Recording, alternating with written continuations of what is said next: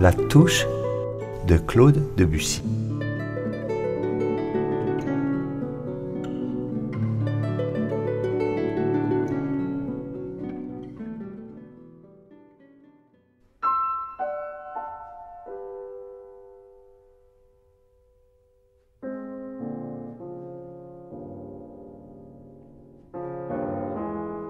《德布西前奏曲》交替的三度。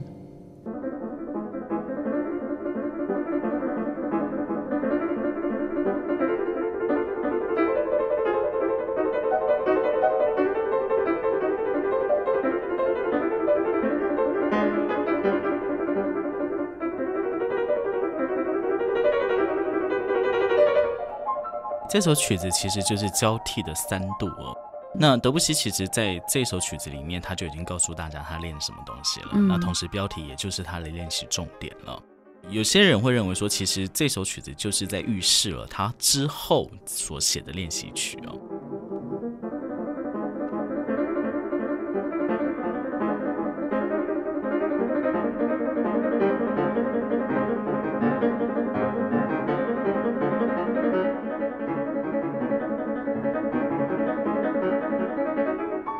那我觉得其实不管是三度、五度或六度，甚至八度哦，只要是遇到钢琴的双音哦，那都是非常非常难的技巧。那尤其就是说你在双音的很快速的交替的情况之下，你如何可以做到平均跟整齐？我觉得是非常重要的。通常来讲，它可以练习的重点有两种，一个就是一只手里面两个指头下去的整齐的程度。那双音一致还不够。第二个重点就是说，你两只手的双音在同时做演奏的时候呢，在交替的这个进行的时候，你要能够做到平均。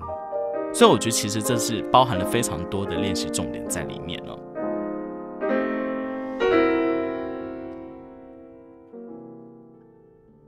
因为德布西，人们开始在太过真实的世界练习追光逐影。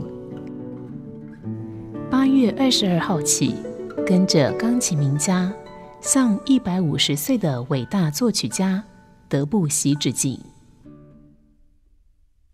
以上单元选自《秀拉的花园》节目，每周日下午四点，敬请准时收听。